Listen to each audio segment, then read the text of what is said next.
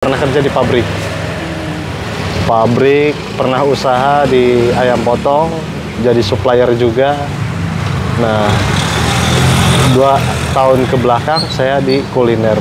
gitu. Apa A, yang mutusin A lepas dari pabrik gitu milih usaha? Dari pabrik eh, lebih ke jenuh ya, jenuh dan ya maaf untuk eh, kebutuhan kadang ada nggak cukupnya namanya kerja apa di pabrik ada sistem kontrak habis kontraknya. Gitu. Kalau usaha ya alhamdulillah setiap harinya kita ada. Berarti dulu karyawan, sekarang punya karyawan ya? alhamdulillah. Sekarang karyawan kurang lebih kalau untuk sama seblak ya kurang lebih sekarang 24 24 Iya. Laku kurang lebih 4.000 sampai 5.000 5.000 pieces per harinya.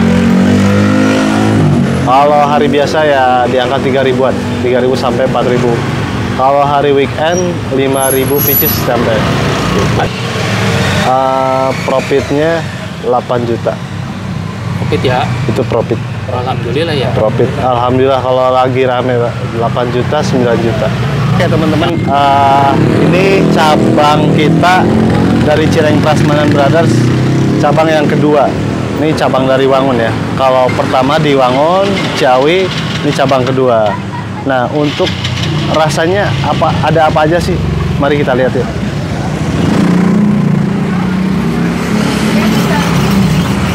Nah, ini untuk ukuran ya, untuk ukuran yang sedang. Nih ada rasa abon, Abon ya? Abon. Ini abon ah? abon, abon ayam. Abon ayam. Ah. ini ayam suwir original, nggak pedas. Bakso ori, nggak pedas. Ada kulit ayam pedas. Ini kulit ayam. Bakso pedas. Ini ada seblak ayam pedas. Nih unik juga nih. Seblak ayam pedas. Berarti isinya seblak ya? Isinya seblak. Seblak campur ayam. Ini ada hati ampela pedas, khusus pedas. Terus pedas. Nah, ini di sini ada ukuran yang besar. Dari mana nih ya? Kita sini. Boleh nih dari mana aja. Ini kebetulan udah banyak yang habis tadi sebagian. Tapi eh, lagi proses produksi, bentar lagi ada pengiriman lagi. Ini yang besar ya? ya? Iya, yang besar. Kurang lebih untuk varian rasa sama, cuman beda di ukuran aja. Boleh tahu ah, ini ada rasa apa aja? Ayam suwir pedas. Ayam sayur pedas. Ah, ikan tuna pedas. Nah, ini ikan tuna. Ini masuk best seller juga nih, enak. Jando nih. Jando. Jando itu tetelan sapi ya, buat Bukan yang nggak tahu. Oh iya, bukan yang nggak ada suaminya ya? Oh, itu ja- janda itu, janda muda. itu. Dan udah jahe dong. Hmm, Jahe, janda herang ya. Ini Ayam suwir mercon. Ayam suwir mercon. Di sini ada ayam suwir pedas sama mercon. Ini pedasnya standar, kalau mercon itu udah masuknya level sangat pedas lah. ini harganya berapa nih ya yang ini? Nah, untuk yang jumbo ini eh, harganya 5000 5000. Iya. Kalau yang kecil tadi Yang kecil tadi 3000 ah. 3000. Iya. Dari 3000 sampai 5000. Dari 3000 sampai 5000. Nah, ini apa ya? Ini ayam suwir sambal hijau. Ayam suwir sambal hijau. Bedanya di sambalnya. Sambal hijau. Usus pedas ya. Khusus pedas. Apalagi Ini ya? ada kornet, Kornet. ada rolade juga ada. Tadi mana? Keju. Keju ada tiga jenis. Cuman ini ada sisa keju biasa, keju mozzarella sama beef cheese. Jadi keju campur daging eh, sapi. Oh gitu. Nah kebetulan lagi habis, lagi produksi lagi sih. Ini ya kalau pesen gitu langsung digoreng di sini atau gimana sih? ah? Nah ada dua dua opsi ya, bisa dibawa keadaan mentah, bisa dimasak di sini. Itu pilihan konsumen sih. Tapi bener nih ada 55 varian ah. Ada 55 varian rasa. Kalau pena, biar nggak penasaran nih, coba datang sini. Datang aja ya. Ya. Lokasinya ada di Pakuan. Akuan. Oh itu Bogor, proses ya? goreng ya, ya? Ya, lagi proses goreng.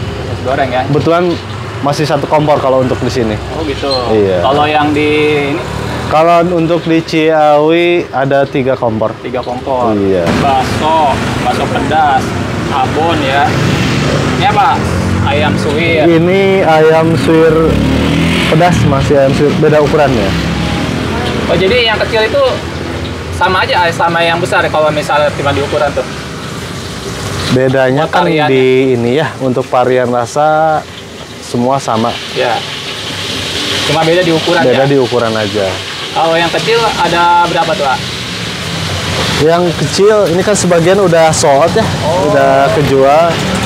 Tadinya sini penuh sih stok juga ada. Betulan boxnya udah ditarik lagi, lagi proses produksi.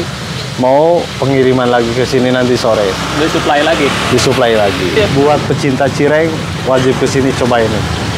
Cirengnya jumbo-jumbo ukurannya, dijamin puas. Bisa pakai sangu. Bisa pakai nasi, apalagi nih ada rasa nih, maaf. Eh, ikan tuna. Nih, bisa pakai nasi. Masih masuk pokoknya enak. Apalagi ini ada pedas-pedasnya, pokoknya mantep lah.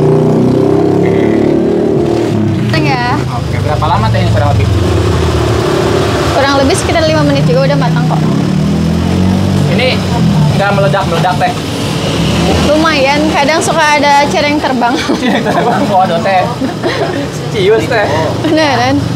Jadi teh kalau yang beli itu goreng di sini atau bis ada yang bawa pulang? Kebanyakan suka beli mentahan sih kak. Lumayan kan buat ngemil-ngemil di rumah makan anget-anget. Ada juga yang langsung makan di tempat biasanya. Ini kalau untuk teknik apinya gimana nih teh? Cara gorengnya itu? Kita tunggu sampai minyak panas, baru kita masukin, nanti apinya dikecilin. Oh, Jadi nggak boleh eh, terus-terusan panas. ya? Oke.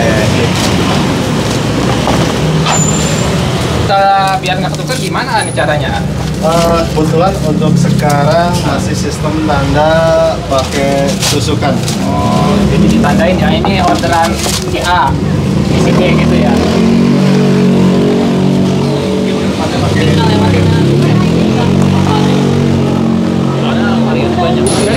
Ya, ini cereng Oke. sedangnya ya kak. Jadi kalau Makasih mau kak. mampir di mana nih alamatnya teh? Ini ada di Pakuan ya kak. Cabang keduanya. Boleh juga ke cabang pertama yang ada di Wangun. Oke, sukses selalu ya teh ya. Ya, makasih kak. Sama-sama. Datang lagi kak. Siap, 86. Mungkin ada sedikit pesan motivasi nih ah buat teman-teman kita yang baru mulai usahanya dari awal ya. motivasi ya lebih satu semangat ya semangat sabar sama konsisten sih Gitu. dan jangan lupa doanya ya barengin dengan ikhtiar yang kuat sih. Intinya kalau usaha kadang banyak ujiannya ya banyak tantangannya. Nah itu harus kita bisa harus hadapin di situ